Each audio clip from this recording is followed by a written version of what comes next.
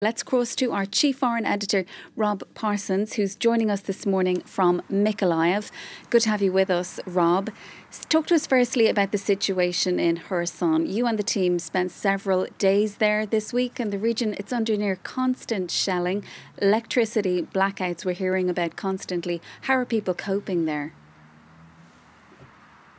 Yeah, the, situation is pretty bleak, it has to be said. We did spend indeed three days uh, in Kherson uh, this last week. Uh, the city is pretty much empty. There were 330,000 people before the start of the war. There are less than 70,000 now. The schools are all shut, all 171 of them.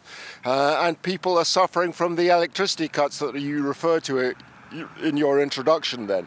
Yesterday, uh, the authorities had managed to restore electricity in the city to around 75%. But overnight, the Russians hit the city again, and this morning there was total blackout.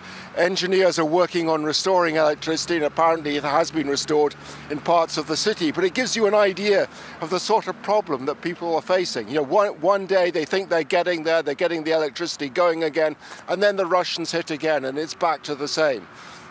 Um, Rob, with a consequence that most people are trying to get out. Sorry, but the, the consequence is that most people are trying to get out. Uh, they, ha- they have set up tents around the city where people can go for warmth. Uh, and yesterday, Friday, we went and visited one of those and spoke to people who were there. They were drinking coffee, charging up their mobile phones, that sort of thing. You know, one woman, an elderly lady, said to me, you know, with derision in her voice, you know, the Russians say they came here to liberate us. And she said, to liberate us from what? From the good lives that we had before? Rob, sorry for cutting across you there earlier. I was just wondering how the situation in Kherson compares with where you are now in Mykolaiv.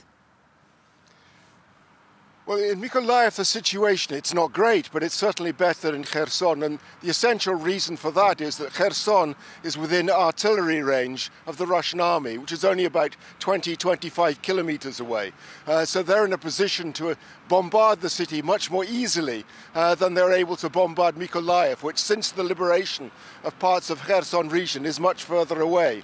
As a consequence, electricity has been pretty much restored, though not entirely restored to Mykolaiv.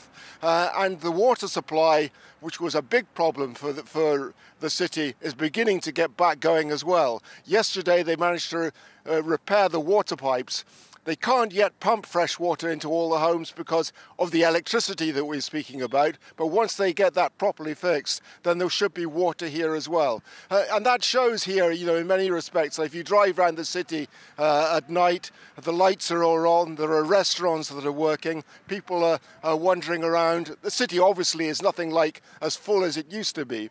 But by comparison with Kherson, things are certainly better. Okay, Rob, we leave it there. That's our chief foreign editor, Rob